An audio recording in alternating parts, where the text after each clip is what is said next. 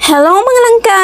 For today's vlog, isi-share ko sa inyo kung paano ko i-divide-divide, i-divide-divide talaga, ang aking sahod. So, dyan ko inilalagay ang aking mga sinasahod monthly para talagang ma-segregate ko siya ng maayos.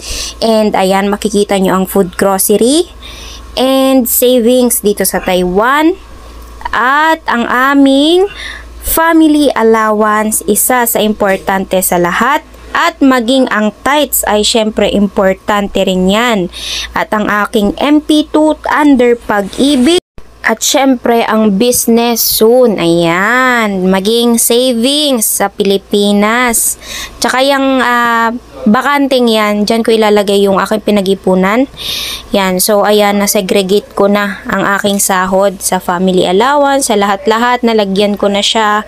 And, ayun. Pero bago ko ginagawa yan, uh, nililista ko muna yung mga expenses ko sa notebook bago ko siya i-segregate.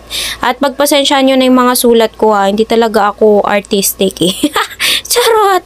Eme. Oh, so ayan, sana nakatulong at nakahingi kayo ng idea sa akin kung paano ko nasisegregate ang aking sahod bilang isang OFW. Napaka-importante po yan, kaya wag po tayong luho ng luho, ganern, para tayo po ay makaipon. Charot!